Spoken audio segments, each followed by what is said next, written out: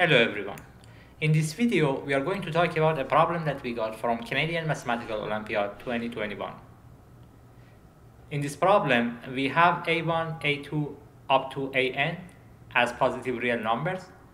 n is an integer greater than or equal to 2 and we know sum of ai for a is equal to 1 to n is equal to 2 to the power of n minus 1. We want to find the minimum possible value that the expression that you see here will get. Before moving to the solution, make sure that you pause the video to think about the problem.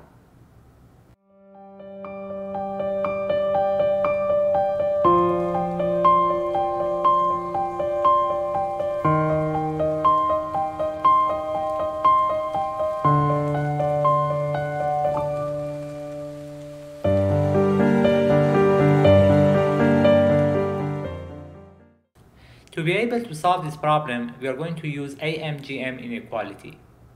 For x1 up to xn, the arithmetic mean or AM is equal to x1 plus x2 up to xn over n, and the geometric mean of these numbers x1 up to xn is equal to nth root of x1, x2 up to xn. We know the equality happens when we have x1 is equal to x2 up to xn. Now let's talk about the solution. To be able to solve this problem with AM, GM inequality, we are going to add n and then remove n from the expression. Instead of adding n, we are going to divide n into n terms. Each one is 1, and then we are going to have 1 plus a1 over 1 instead of just a1 and then 1 plus a2 over 1 plus a1 instead of just a2 over 1 plus a1 and so on and so forth and then at the end we need to remove n from the expression. Now we have an expression and we are going to simplify it. The expression that we have has n terms. Let's assume that these n terms are n separate terms and we have sum of them. This is basically means we are going to have arithmetic mean times n. So let's do that. And instead of writing the whole expression, we are going to just write n times am, which is arithmetic mean again. At the end, we have minus n.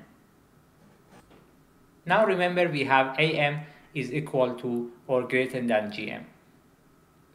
If each term here is an xi, then we can simplify this and write it n times am minus n is greater than the gm of these values, which is the nth square of each of these terms multiplied by n. At the end, we need to have minus n again.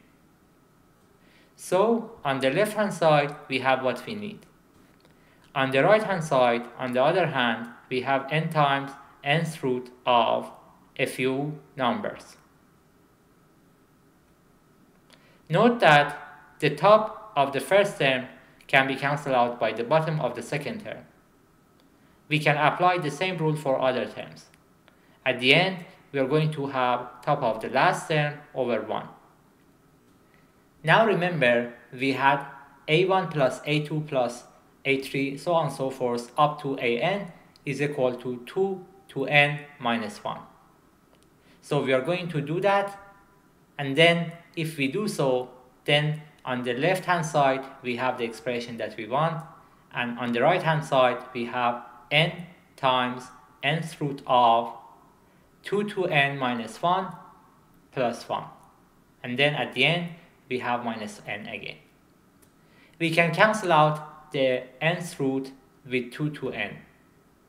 Then we are going to have 2 times n minus n, and this is actually n. So the minimum possible value that our expression can take is n. And that's our answer. Thanks for watching the video. If you would like to see more puzzles and math involved activities, please subscribe to the channel.